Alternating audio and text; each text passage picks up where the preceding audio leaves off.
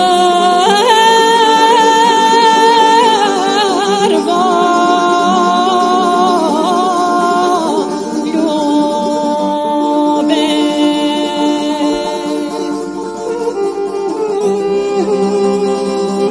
Не бива глумец Англичана, не бива, че нали сме умец Абреджана роднина и нали е срамота.